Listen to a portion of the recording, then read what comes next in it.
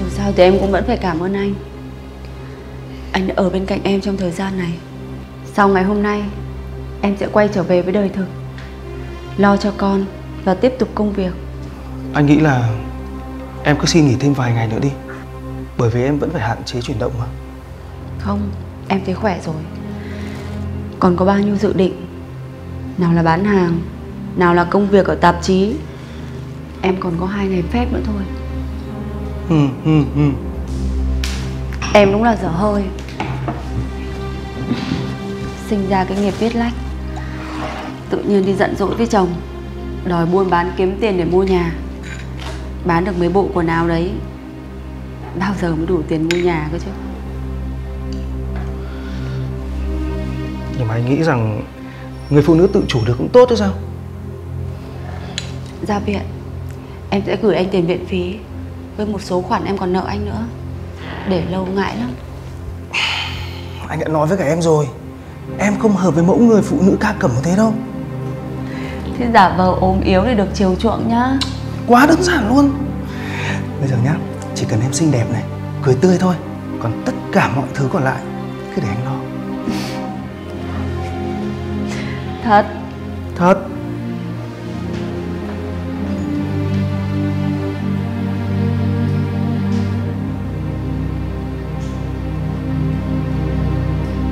Vợ có ăn uống được gì đâu mà suốt ngày ngồi máy tính. Mẹ mà biết à, mẹ lại mắng cho đấy.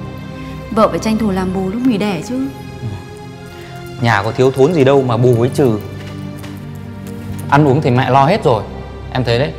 Nước hoa quả này, đồ ăn này. Sau có cháu à, mẹ cũng chăm tất. Phụ thuộc vào ông bà nhiều quá Vợ thấy không thoải mái. Có gì mà không thoải mái. Mẹ nói nhiều tí thôi Nhưng mà em để ý làm gì.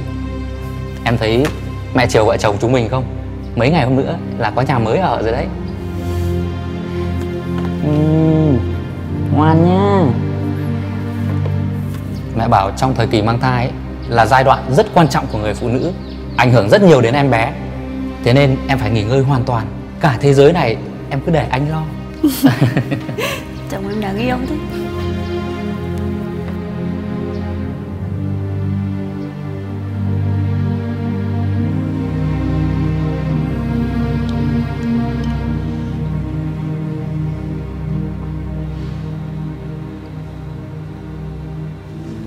Cô ơi cô.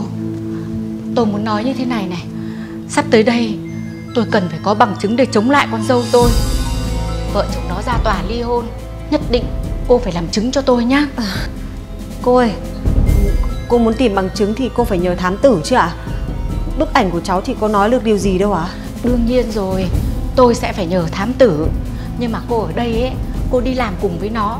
Ngày giờ nó đi ra đi vào Mọi việc của nó tất tất tật cô đều biết hết Cô giúp tôi nha. Nha. Cháu phải thú thật với cô như này. Cháu với Liên làm chung cơ quan với nhau Cho nên là chúng cháu sẽ còn làm việc với nhau nhiều. Cháu nói thật là cháu không muốn xích mích với Liên nữa đâu ạ. Cô thông cảm cho cháu. Khổ quá cái tư cách đạo đức như thế Thì làm chung làm cái gì nữa? Mà này Mọi người ở một cái cơ quan văn hóa như thế này Ai người ta chấp nhận chuyện ngoại tình?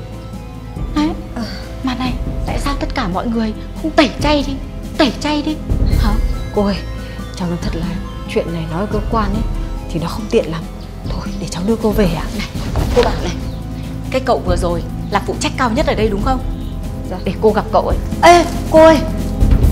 Cháu thấy như thế là hơi quá rồi đấy ạ. Ơ. Việc mà Liên có ngoại tình hay không ý Thì nó cũng là việc cá nhân của Liên.